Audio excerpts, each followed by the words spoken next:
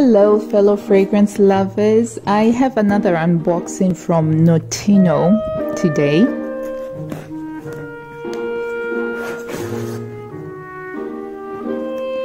And I've been doing so much shopping, I can't even remember what it is I got. So it's going to be really exciting.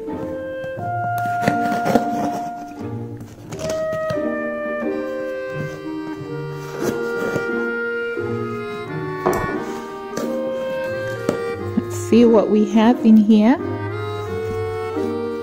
Ooh, nice.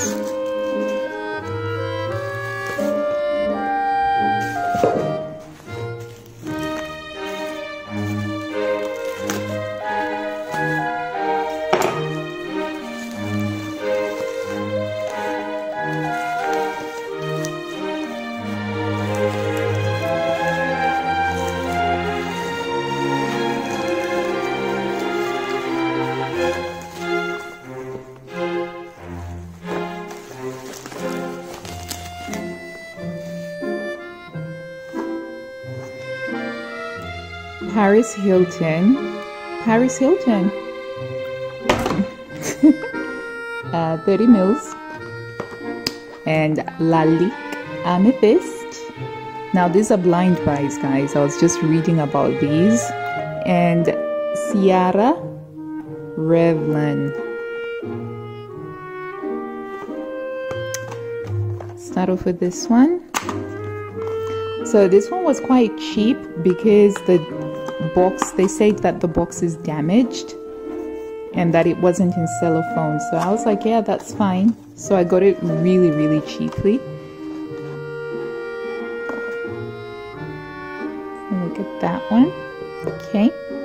And then the Paris Hilton one, I was watching a channel called Soki London and she did a video about the Paris Hilton perfumes and I was curious, uh, especially for the price.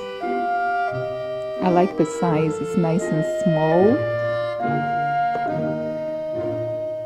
And with amethyst,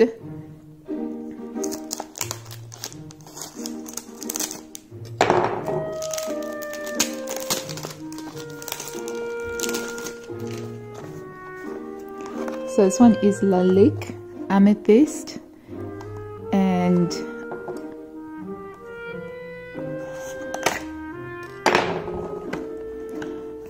I'm gonna be honest I got this one because it's purple. And I like purple. And the bottle looks amazing. Oh, look at that. Right let's try these on for size.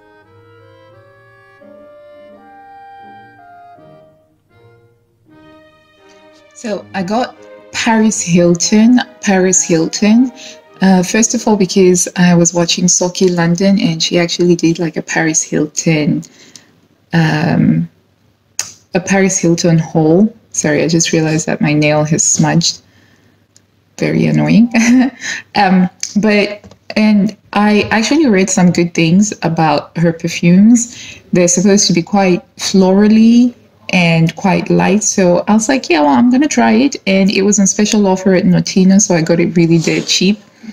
And when I looked at the notes profile, that kind of got me excited because it's got uh, melon, it has got melon, apple, peach, freesia, mimosa, lily of the valley, jasmine, lily, tuberose, musk, Ylang Ylang Sandalwood and Oak Moss. So this is my first Ylang Ylang perfume. I haven't tried any perfume that has got Ylang Ylang.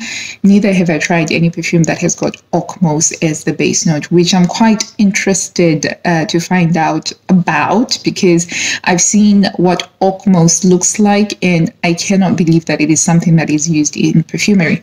Okay, so because today I was wearing an eau de toilette, which I only put on in the morning and I didn't get to refresh it. And fragrance free, so I'm going to try it on my fingers. So, mm.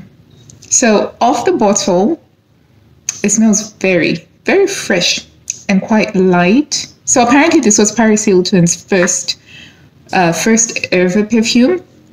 Now, I have to admit that I used to be a bit snobbish when it came to Paris Hilton, so I never really took her seriously as a person because of there was that reality TV show that she did, which I didn't watch, but her reputation was just of being a celebrity thing. But yeah, it's quite fascinating the uh, process that she's been through. But right, I'm gonna try it on here. Ooh, this is a really good atomizer. I've found that it was quite easy to spray. Right. Uh-huh. Mm-hmm. It's a very fresh, uh, fruity, floral scent. Mean, it's very clean, like I've just come out of a shower. So for me, this is singing summer. It is saying um, very much that this is summer. So I feel like this actually smells like melon. This is, I'm, I'm definitely getting the melon, but it doesn't feel very strong, I have to say, just for the one spritz that I have done. I can see why this is possibly popular. It smells to me like it's quite inoffensive because it does smell pretty much like a lot of other perfumes out there and I'm coming to learn that that is inoffensive, and that's because other people are pretty much used to smelling those perfumes, so they're less likely to be offended by them. Whereas when you get something that smells out of the ordinary, that might be a little bit tricky.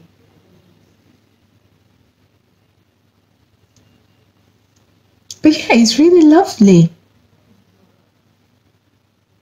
Yes, I keep wanting to sniff myself.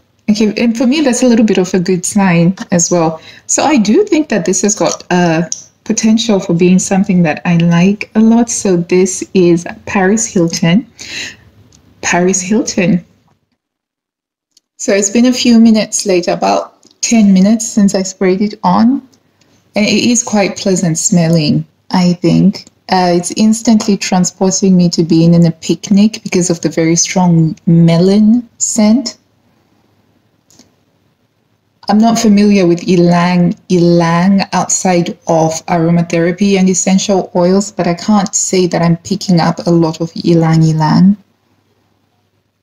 But it's lovely. It's got a really nice freshness to it, and it's um, it definitely speaks of summer and picnics and gingham picnic blankets and biting into a nice crunchy cold melon. I don't know what the longevity is going to be on me, but I will report back about that. Up next is Lalique Amethyst. Now, I got this because I had been wearing Britney Spears Midnight Fantasy and I loved Midnight Fantasy. It's a berry perfume, but there was just something missing uh, from it for me. To me, it smelled too much like a herbal essences shampoo and not so much of a perfume, so much as it felt like, you know, I just had a shampoo, uh, like I just shampooed.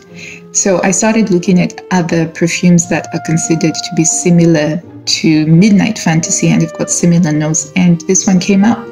So the top notes are black currant, blackberry, blueberry, and mulberry. So we've got all of the dark fruits covered, as well as big strawberry, which is the same top note for Rihanna's Rebel. The middle notes are pepper, peony, rose, and ylang ylang. And then the base notes are musk, woody notes, and bourbon vanilla. Um, so yeah, I'm going. I really like the bottle. If I may say, this is a very sophisticated looking bottle with the geometric and the embossing that it has over here. I mean, for the price that I paid for it, I can't believe that this bottle looks so good. And it's also purple. Purple is one of my favorite colors. So I'm going to spray it on here. Oh. Oh, nice atomizer. To, oh, wow. Oh, powdery. I gotta say, just first uh, you know, the first blast of it, it's not like Midnight Fantasy. it's not sweet like Midnight Fantasy is. Like Midnight Fantasy is super, super sweet. So the other thing that I'm getting when I put my nose right close to the finger is this um, herbalness, like a, a certain green aromaticness to it. It's definitely a grown-up. Uh, it's a grown-up scent, unlike say the Midnight Fantasy which I just basically need to stop comparing it to because this is nothing like Midnight Fantasy. It's very soft. It's a very soft uh, fragrance. It doesn't feel like it's got the tartness. I would definitely not call it sweet. The musk is very subtle, which I think gives it its softness.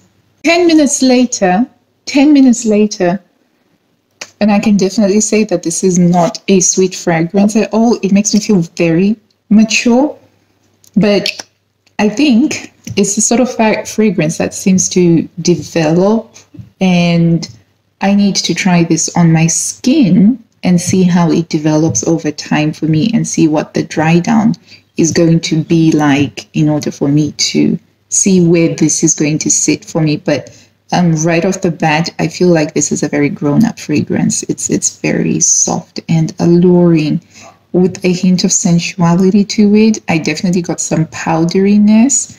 Um, there was a berry blast at the beginning, but it is not sweet. And I know that because I like sweet fragrances, and this is definitely not a sweet fragrance. But yeah, amethyst from Lalique. So this one is Revlon Ciara, and it says 100% strength on it. I bought this after reading an article on Fragrantica about 10 really great budget affordable perfumes because I'm kind of looking at getting affordable perfumes. And so I decided to try this again because it was being discounted uh, because of the damaged uh, box. So I think this cost me six pounds. So I was like, let's go. Oh, wow. Oh my days. Definitely feminine, definitely musky. So this one is supposed to have uh, raspberry, neroli, bergamot, lemon, middle notes are Brazilian rosewood, ylang ylang, orris jasmine, and palmarosa. The base notes are opoponax, incense, leather, vanilla, cedar, and musk. So it's got a lot going on. And you can get it right straight off the bat. So I'm trying it on my skin. Let's try you.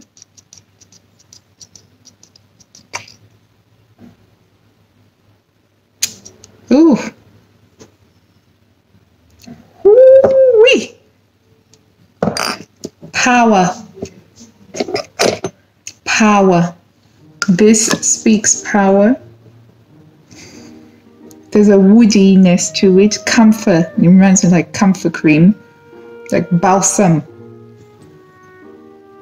touches of neroli, of the orange, the lemon, the citrusiness is coming through. It's a very strong woodiness to it. It's very rich, very rich, mature. I would definitely say that this is a mature fragrance.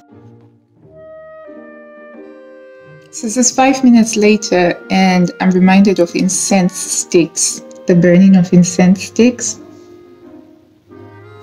the the the orange note at the beginning is completely gone.